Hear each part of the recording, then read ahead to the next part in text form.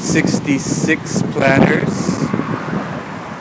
And on the right, you'll see uh, a fence with uh, ficus uh, shrubbery in, but ficus is not a shrub, it's actually a tree. Uh, so even if you trim it, you'll end up with a tree-like um, root system which will tear up this sidewalk. Ficus is very cheap. Now imagine we're on a wheelchair or a motorized wheelchair. Two wheelchairs meet here and uh, there's not much you can do. Now if you're a pedestrian we can kind of single file it.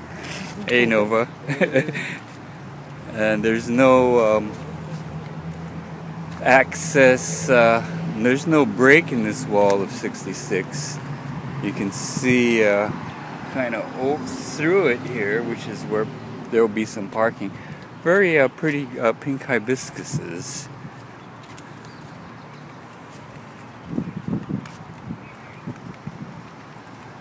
And we're, walking, we're about midway. We're right across the Honolulu Museum of Art right here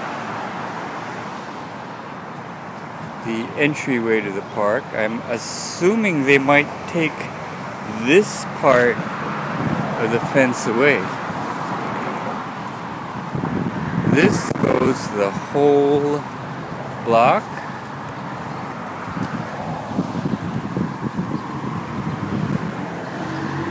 And I think represents kind of a hazard.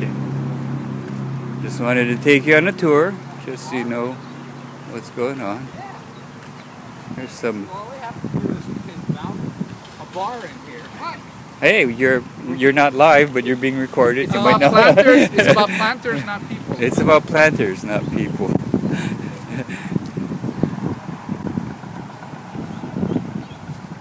and we're at the Victoria and no break. 65 or 66. Did you guys count?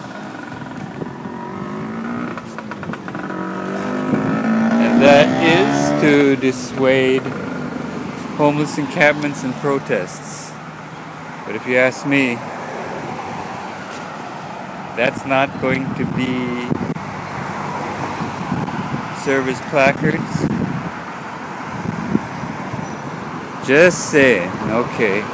Just want to take you on a tour. And that's what's down here. 5 a.m. to 10 p.m. is for pedestrian use only. We'll see.